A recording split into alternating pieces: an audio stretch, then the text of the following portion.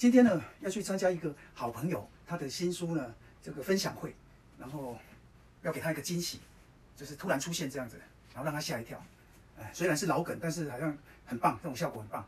然后要去给他认购一百本书啊，捐给需要帮助的朋友这样子。那穿这样子好像有一点太随便了。那我想说要去换那个作家的衣服，比较接近一点地气。那我现在就去换了，等我一下。哒哒，可以吧？这样有那种作家的感觉啊，有一点这个随性，然后又有一点这个艺术感，非常好。现在呢，就出发，走吧。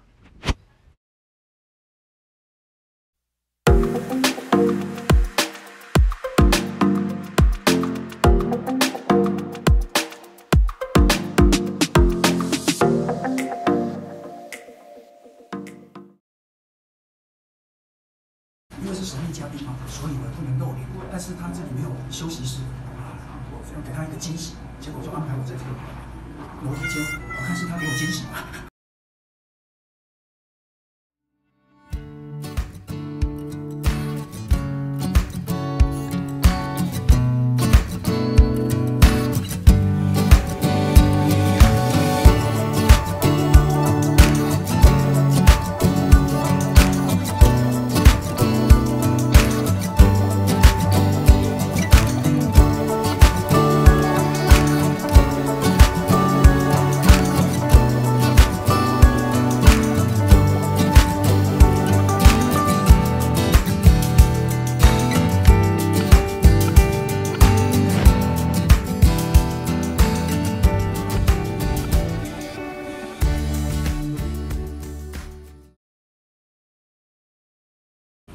们这个呢，来帮这个好朋友站台，又遇到另外两个好朋友，王一鸣老师，就是刚刚讲到说跟我讲相声，台语相声，对对对，很多您您太太梅子也要啊这些，这种从哎，光杠上面没名没有你的名字，是吧？但是我一看怎么皆有的，他给我的光杠跟给的吗？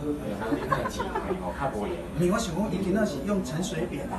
你的角色出现，我一刚才七鬼棋啊，不是用李敖的，还有哦，这七鬼棋啊，只有这个角色出现，这样送喜事，要卖港工这，我你讲的，我不能讲，跟我讲，好，发表会成功，好的好的，人生。